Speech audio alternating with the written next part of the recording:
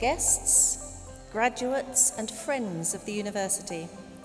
It is my privilege and pleasure to welcome you to the 16th of the Open University's degree ceremonies being held in 2018.